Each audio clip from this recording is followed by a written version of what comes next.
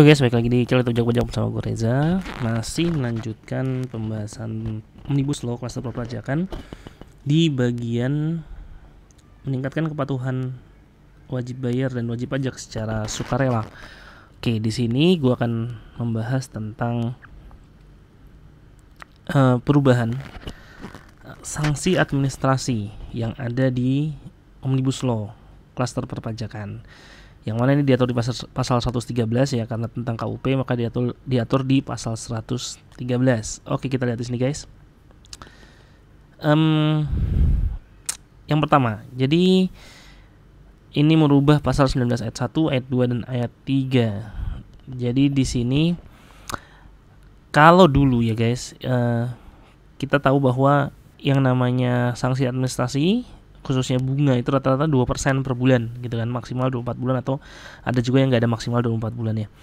Nah, di sini kalau kita lihat di Omnibus Law ini itu terjadi beberapa perubahan di mana intinya sih uh, kita menggunakan tarif bunga per bulan yang ditetapkan oleh Menteri Keuangan. Jadi ada suku bunga acuan yang ditetapkan oleh Menteri Keuangan setiap bulannya itu dengan menggunakan KMK biasanya. Nah, uh, jadi ini kita lihat yang pertama uh, oh ya dan nanti dia ditambah uplift faktor tertentu. Jadi ada uplift faktor tertentu. Nah, uh, kita akan membahas yang pertama guys. Ini untuk yang tidak ada uplift faktornya atau uplift faktornya adalah 0%. Ya, jadi uh, tarif bunga per bulannya adalah suku bunga acuan yang ditetapkan oleh Menteri Keuangan yang berapa dibagi dengan 12. Itu berarti dapat bunga per bulan. Nah, apa aja guys yang uplift faktornya itu 0% ya, kita lihat di sini. Uh, yang pertama adalah pengenaan sanksi administrasi sanksi administratif pajak atas bunga penagihan. Bunga penagihan ini adalah bunga yang diterbitkan biasanya bunga yang diberikan kepada wajib pajak apabila dia ada uh, eh, SKP atau STP atau ketetapan lainnya yang tidak dibayar dalam jangka waktu satu bulan. Ya dalam jangka waktu satu bulan tidak dibayar lewat dari satu bulan maka dia akan dikenakan bunga penagihan. Itu tidak ada faktoring. Jadi suku bunga acuan dibagi 12 gitu ya. Kemudian yang kedua adalah angsuran atau penundaan pembayaran pajak. Sama ini juga angsuran atau penundaan pembayaran pajak ini biasanya berkaitan dengan SKP, STP atau um, surat ketetapan lainnya ya yang dia tidak uh, tidak bisa tidak dapat dibayarkan secara langsung oleh wajib pajak. Jadi wajib pajak meminta mengangsur atau menunda, maka tidak ada amplifaktornya di sini. Jadi suku bunga acuan dibagi 12. Kemudian kurang bayar penundaan penyampaian SPT tahunan. Nah, ini ceritanya adalah kalau penundaan penyampaian SPT tahunan ini biasanya kalau wajib pajak badan yang umumnya ya, bisa wajib pajak badan dia misal di bulan April laporan auditnya belum selesai, nah dia bisa biasanya minta menunda. Nah, ketika penundaan itu menyebabkan ada yang kurang bayar, gitu kan? penundaan itu menyebabkan nanti ketika misalnya KB dia baru menyampaikan SPT-nya di bulan Juni misalnya. Bukan bulan April ya tapi bulan Juni. Nah dan ternyata oh ada kurang bayarnya. Ya jadi uh, yang harus dibayar lebih tinggi dibandingkan dengan SPT sementara yang disampaikan pada saat menyampaikan permohonan penundaannya itu. Nah itu maka di situ nanti akan dikenakan bunga. Ya jadi uh, dengan uplift faktor 0% jadi suku bunga acuan bagi 12. Nah, semuanya ini adalah nanti maksimalnya tetap 24 bulan ya, guys. Jadi kalau misalnya lebih dari 24 bulan, maka maksimalnya tetap 24 bulan. Gitu, guys. Nah, sebelumnya apa? Kalau sebelumnya ini pakai tarif 2% ya. Jadi tarifnya fix 2%. Jadi ini uh, dengan suku bunga acuan ini uh, pasti akan menjadi lebih rendah ya, guys, tarifnya ya. Uh, maksud saya bunganya akan sanksinya akan menjadi lebih rendah. Nah, ini sebenarnya tujuannya adalah uh, ya tadi untuk meningkatkan kepatuhan wajib pajak dan wajib bayar secara sukarela. Jadi kita ingin wajib pajak itu bisa bayar loh gitu. Jadi jangan sampai dikasih bunga 2%, percuma jangan kita kasih sanksi gede gitu tapi wajib pajak nggak bisa bayar. Nah, kita kasih sanksi yang kira-kira wajib pajak itu mampu membayar. Maka kita kasih di sini uh, suku pakai suku bunga acuan gitu. Nah, kalau uplift faktornya apa sih yang membedakan antara 0%, 5%, 15%, 10% gitu kan? Maksimal kan ada 15% ya. Nah, yang bedain nanti kalau kita lihat adalah semakin tinggi tingkat kesalahannya gitu ya atau semakin ya semakin lama uh, kesalahan itu dibiarkan, nah itu akan semakin tinggi uh, uplift faktornya. Kita akan lihat nanti, guys.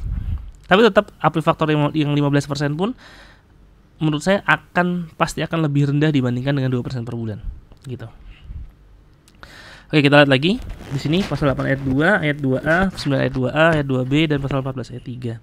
Nah, ini yang kita akan lihat yang ditambahkan dengan uplift faktor 5%.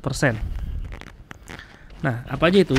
Kita lihat di sini kurang bayar pembetulan SPT tahunan atau SPT masa. Jadi kalau ada SPT masa atau SPT tahunan yang uh, dibetulkan ya, dia salah. Uh, jadi ada pembetulan SPT dan di situ ada kurang bayar, maka dia akan dikenakan sanksi administrasi berupa bunga uh, suku yaitu dengan suku bunga acuan ditambah 5% dibagi 12 maksimal 24 bulan. Nah ini dulu nggak ada maksimalnya guys. Jadi ini dulu nggak ada maksimalnya. Sekarang ada maksimal 24 bulan. Kemudian pembayaran penyetoran pajak yang dilakukan setelah jat tanggal jatuh tempo. Pembayaran atau penyetoran pajak atau jatuh tempo pelaporan SPT tahunan. Jadi ini telat lapo, telat bayar kurang bayar yang ada di SPT. Ya, jadi telat bayar ya. Jadi ketika pembayaran telat maka akan diberikan sanksi administrasi berupa bunga uh, dengan tarif bunga suku bunga acuan ditambah 5% dibagi 12. Kemudian PPh dalam tahun berjalan tidak atau kurang dibayar atau dari hasil penelitian terdapat kekurangan pembayaran pajak sebagai akibat salah tulis atau salah hitung ini STP guys. Ini ter terkait dengan STP. Jadi kalau ada PPh dalam tahun berjalan tidak atau kurang dibayar nih kalau dia ada PPh 25, PPh pasal 25, angsuran PPh pasal 25 tapi nggak dia bayar. Ya, itu akan ditagihkan melalui STP dengan sanksinya adalah suku bunga acuan tambah 5% bagi 12. Kemudian terdapat dalam berdasarkan hasil penelitian biasanya oleh oleh AR misalnya terdapat kekurangan pembayaran pajak sebagai akibat salah tulis atau salah hitung. Itu juga akan dikenakan sanksi suku bunga acuan ditambah 5% dibagi 12. Nah, kemudian selanjutnya yang uplift faktornya adalah 10%. Ini adalah pajak yang kurang dibayar yang timbul sebagai akibat dari pengungkapan tidak benaran pengisian SPT. Ini pasal 8 ayat 4 Undang-Undang KUP, guys. Ya, pasal 8 ayat 4 ini uh, namanya pengungkapan ketidakbenaran. Uh, kalau sanksinya ada di pasal 8 ayat 5 ya. Nah, dulu untuk pengungkapan ketidakbenaran pengisian SPT ini sanksinya adalah 50% guys. Jadi pajak yang tidak kurang dibayar. Dan ini memang menjadi agak aneh kenapa? Karena kalau misal SKPKB aja, SKPKB ya. Ini kan sebenarnya uh, sanksi administrasi disebut dengan pengungkapan ketidakbenaran ini kalau dia sudah diperiksa ya. Tapi dia ingin pembetulan. Jadi kalau misalnya sebelum diperiksa dia ingin pembetulan kan dia tadi pakai mekanisme pembetulan. Ya yang tarif bunganya adalah suku bunga acuan tambah 5% bagi 12 tapi kalau misalnya dia ingin pengungkapan kebenaran pengisian SPT itu berarti dia sudah diperiksa. Karena ketika sudah diperiksa dia tidak bisa lagi pembetulan. Nah ketika dia sudah diperiksa tapi dia ingin pembetulan asalkan ya asalkan selagi misalnya uh, kalau di dalam undang-undang KUP pasal 8, 8 ayat 4 itu disebutkan sampai atau selama SKP belum diterbitkan. Ya, jadi kalau SKP belum diterbitkan.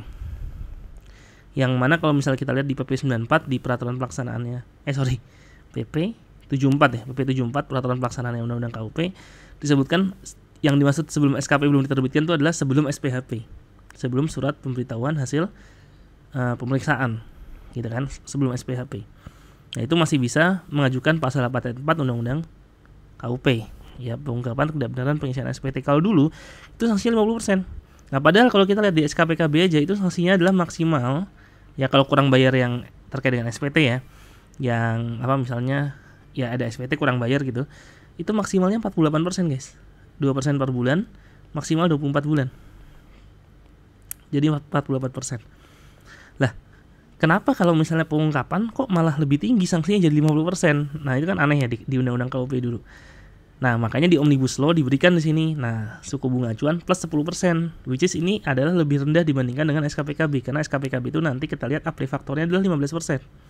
Gitu. Jadi, yang tadinya 50% fix 50% sanksi berupa kenaikan diganti menjadi tarif uh, sanksi administrasi berupa bunga yang tadinya kenaikan diganti jadi bunga yang mana bunganya adalah dua per, uh, suku bunga acuan ditambah 10% dibagi 12 gitu ya guys ini adalah uh, sanksi yang terkait yang berkaitan dengan pengungkapan ketidakbenaran pengisian SPT.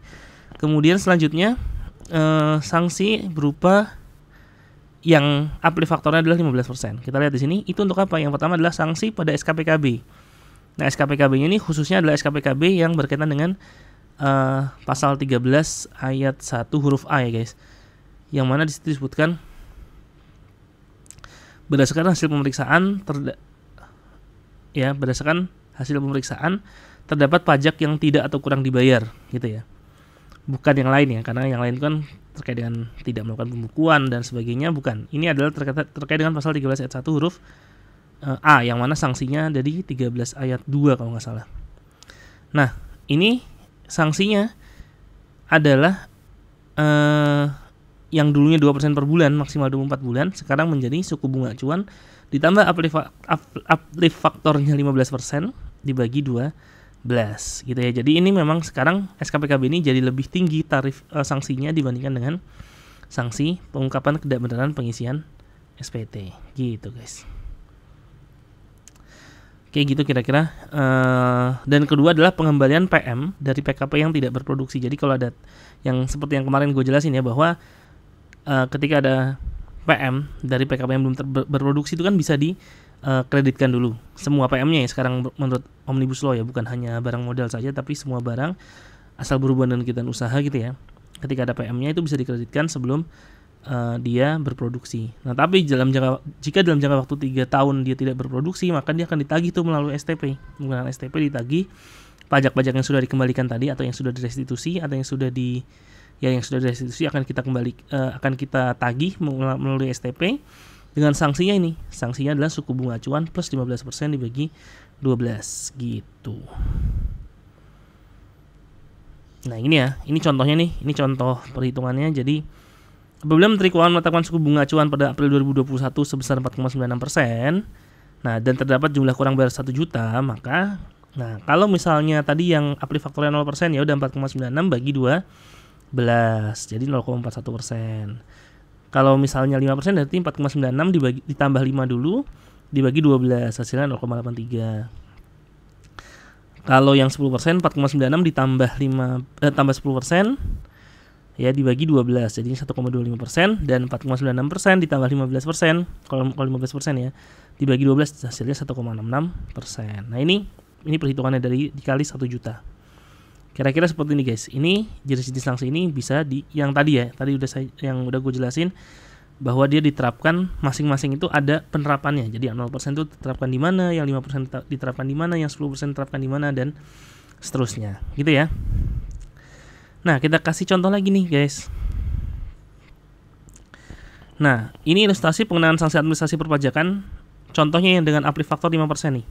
Nah, yang perlu teman-teman ketahui bahwa kan nanti setiap bulan itu kan akan ditentukan ya, akan ditetapkan oleh KMK suku bunga acuan setiap bulannya. Nah, lalu ketika misalnya dia ada lima bulan atau enam bulan gitu, suku bunga mana yang kita ajuk uh, kita pakai? Apakah suku, bunga setiap bulan ataukah suku bunga uh, yang mana gitu kan? Nah, yang kita pakai itu adalah suku bunga dari bulan pertama uh, dimulainya sanksi. Contoh nih ya, Tuan A menyampaikan SPT tahunan PPHOP tahun pajak 2020 pada tanggal 17 Juli 2021. Ini kan telat nih. Jika jumlah kurang bayar sebesar 1 juta dilunasi Tuan A pada tanggal 16 Juli 2021. Nah, kita, kalau kita lihat SPT tahunan PPHOP itu kan maksimal maksimalnya adalah 31 Maret 2000 eh, ini tahun pajak 2020 berarti tahun 2021 kan gitu kan. 31 maksimal 31 Maret 2021. Nah, misalnya dia bayaran 16 Juli kan telat. telat. Nah, perhitungan sanksinya berarti dari apa? Nah, dari kalau kita lihat kalau terkait dengan ini ya, itu kan dihitung dari tanggal jatuh tempo pembayaran. Nah, jatuh tempo pembayarannya kapan ya? Tadi tanggal uh, akhir uh, pelaporan SPT tadi 31 Maret 2021. Nah, berarti kita hitung adalah dari 1 April kan. Sanksinya itu dimulai dari 1 April 2021. Berarti April nih. April, Mei, Juni, Juli. Berarti 4 bulan ya. April, Mei, Juni, Juli. Nah, ini kita lihat beda-beda kan? April, Mei, Juni, Juli. Beda-beda. Nah, yang kita pakai yang mana? Yang kita pakai adalah yang April. Jadi, suku bunga April berapa? Ditambah 5% ya karena ini terkait dengan pembetulan SPT ya, tambah 5%. Eh, sorry, terkait dengan telat bayar. Terkait dengan telat bayar ditambah 5%. Berarti uh, tadi ya, 4,96% ditambah 5% dibagi 12. Hasilnya adalah 0,83 yang mana ini menjadi bunga di bulan April. Nah, jadi yang dipakai adalah bunga pada saat pertama kali dia kena sanksi. Berapa? Ya, perhitungan sanksinya pertama kali uh, dari bulan apa? Nah, itu di situlah di uh, suku bunga yang ada pada saat pada saat itu yang digunakan. Nah kalau kita lihat di sini berarti sanksinya adalah satu juta ya karena kurang bayar satu juta dikali 0,83 persen ini adalah 4,96 tambah 5 persen dibagi 12 dikali 4 bulan karena kan dia bayarnya Juli ya April Mei Juni Juli berarti 4, 4 bulan. Berarti 8.300 kali 4 bulan sanksinya adalah 33.200 rupiah saja. Gitu guys. Nah selanjutnya adalah uh, nah ini juga ada perubahan nih. Terhadap pengusaha atau pengusaha kena pajak sebagaimana berikut ya jadi kalau ada pengusaha yang telah dikukuhkan sebagai PKP tetapi tidak membuat faktur pajak atau terlambat membuat faktur pajak, maka dia akan diberikan sanksi dulu itu 2% dari DPP. Ya dengan STP ya ditagihnya tuh. Atau yang pengusaha yang telah dikukuhkan sebagai PKP tapi tidak mengisi faktur pajak secara lengkap, ya baik yang tidak membuat faktur pajak atau terlambat membuat faktur pajak atau dia tidak mengisi faktur pajak secara lengkap. Ya, jadi misalnya contohnya tidak ada identitas penjual atau tidak ada NPWP penjual, ya. Nah, itu nanti ada pengecualiannya ya jadi selain identitas pembeli atau penerima JKP serta nama dan tanda tangan pembeli. Ya, itu boleh tidak ada. Tapi kalau misalnya di situ misalnya nggak ada harga barangnya atau tidak ada jumlah PPN yang dipungut dan seterusnya, nah itu dianggap tidak lengkap. Ya. Nah, dulu sanksinya adalah 2% dikali DPP. Nah, sekarang turun jadi 1% dikali dengan DPP seperti itu. Ini sanksi, perubahan sanksi administrasi Kemudian sebenarnya juga ada lagi, ini imbalan bunga nanti aja kita akan bahas lebih lanjut. Uh,